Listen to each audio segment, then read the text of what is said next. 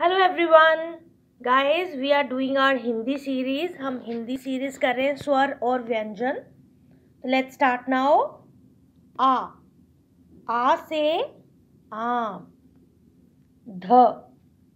ध से धनुष. छ.